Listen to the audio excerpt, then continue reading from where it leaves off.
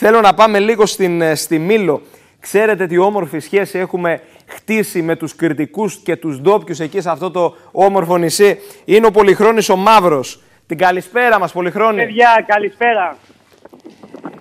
Είπαμε να συνδεθούμε, να ευχηθείτε καλό καλοκαίρι, να τα πούμε και να μας μεταφέρεις και την άβρα σου. Σας χαιρετώ καταρχήν από το κλέφτικο τις τρεις τελευταίες χρονιές η νούμερο ένα παραλία παγκοσμίως. Θα γυρίσουμε να δείτε και ένα πλάνο, όχι να ζηλέψετε, δεν έχετε να ζηλέψετε και πάρα πολλά, αλλά να δείτε και εδώ την διαφορετικότητα. Είσαι μοναδικός. Ζούμε, ζούμε στον παράδεισο, πραγματικά ζούμε στον παράδεισο και δεν θέλουμε ε, να ξυπνήσουμε από το όνειρο που ζούμε. Πολυχρόνη, μας έχεις και μία μαντινάδα. Θα την έχω. Για θα πάμε. την έχω και επειδή βρισκόμαστε στο κλέφτικο, ξεκινάω.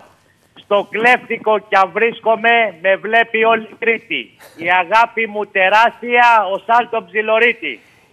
Είσαι μοναδικός. Ε, καλά. Συνεχίζω. Πάμε. Σεπτέμβρη λέω να τα πούμε, μα τότε από κοντά. Στην Κρήτη ή στη Μήλο μας να πιούμε τσικουδιά. Αυτό είναι, παιδιά. Είσαι ο καλύτερος. Καλό, Καλό καλοκαίρι. καλοκαίρι να έχετε, επειδή το πολύ το κυρελέισον το βαριέται και ο παπάς σας Σωστά. έχουμε καλέσει.